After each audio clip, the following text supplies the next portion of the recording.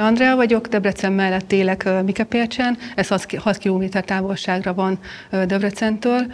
A sajtóból értesültünk arról, hogy akkumulátorgyárat építenek a lakóhelyünk közvetlen közelébe. Itt sokkal lazábbak a környezetvédelmi szabályok, úgyhogy nem érezzük magunkat biztonságban, mert úgy ítéljük meg, hogy a jog minket nem véd, mert ha védene, annak nyoma lenne az eljárásban, viszont mi a jogainkkal egyáltalán nem találkoztunk, tehát valószínűleg ezt a lépést kihagyták, amikor engedélyezték a gyárat.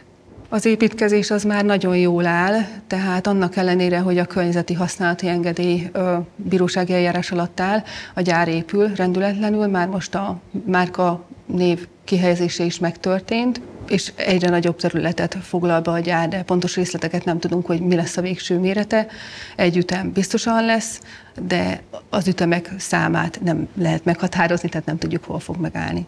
A gyárak NMP-t fognak kibocsátani, ez magzatkárosító anyag, és ez beleszivároghat a talajvízbe, ami pedig eljuthat közvetlenül az ivóvízünkbe is. Az alapvető jogainkat nem vehetik el, tehát jogunk van az egészséges környezethez, és jogunk van a döntéshez is, viszont ebből kihagytak minket. Olyan kellemetlen helyzetbe kerültünk, hogy a környezetvédelmi hatósággal állunk perben, tehát pont azokkal állunk szemben a hivatali eljárásban, vagy a bírósági eljárás során, akiknek védenie kellene minket.